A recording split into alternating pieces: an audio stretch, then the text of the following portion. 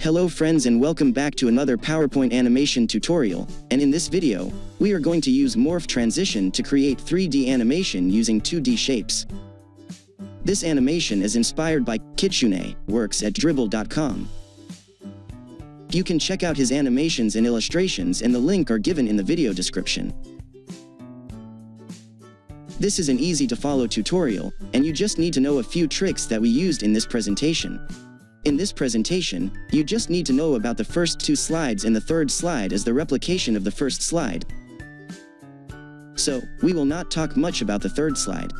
We will begin by opening the selection pane from the Home tab because how you place and name the objects is an important part of this presentation. If you look into the shaper layers on both of the slides, then you will find out that all the layers are having the same names and positions, but still both slides look totally having different scenes. On the first slide, you only see the mountains, tree 1 and 2, house front, stairs 1 and 2, and the road layers even though we have made all the layers visible. Even if you try to show or hide the other layers but still you will not notice any changes to the scene.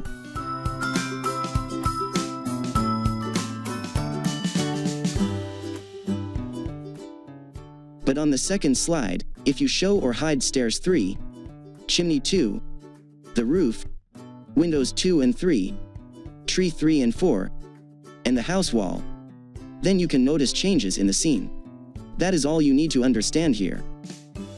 On the first slide, if we start moving the layers on the front then you will start seeing the other layers which are visible on the second slide.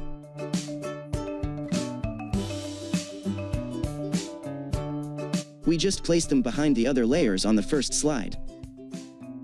All the layers are already present and visible on both slides. We just change their position and sizes on the second slide. For instance, make a duplicate of the first slide. Now, on the duplicated slide, start moving the position of a few shape layers to the right side of the slide like mountains and trees 1 and 2.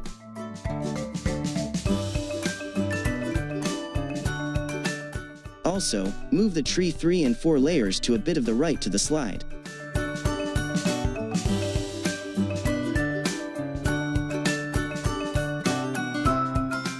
Apply the morph transition and adjust the duration.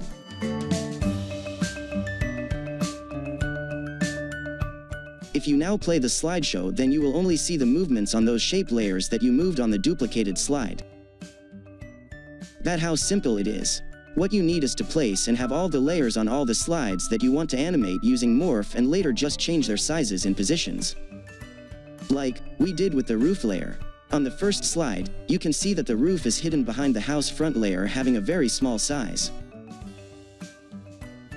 After duplicating the slide, we just moved the house front to a different position and then changed the size of the roof layer using the edit points.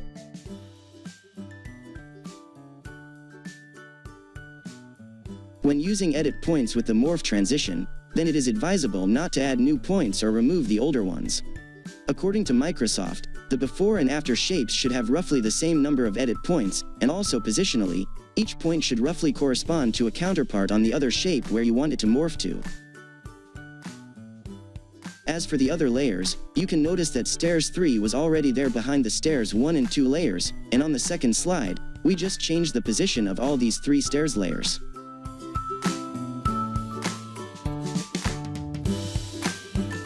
Did the same with chimney 2 layer as it was already present on the first slide behind the chimney 1 layer.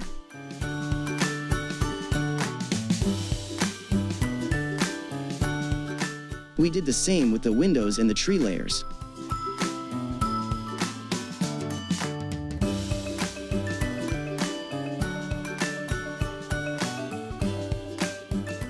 On the first slide, if you note down the morph transition timings then it is just half a second, and advanced slide timings are set to 0 seconds. On the second slide, the morph timings are 1.50 seconds, and advanced slide timings are set to 1 second. To make a loop of the slideshow, we are using the loop continuously until the escape key is pressed option through the slideshow tab. If you run the slideshow while hiding the third slide then you can notice that the loop between the first and second slide is not similar because of the different timings. That is why we added a duplicate of the first slide and placed that on number 3 to have a seamless loop of the animation. I hope you will find this video informative and interesting and might have learned something new. Let me know for sure by liking, sharing, and commenting. Thanks a lot for watching and take good care of yourself.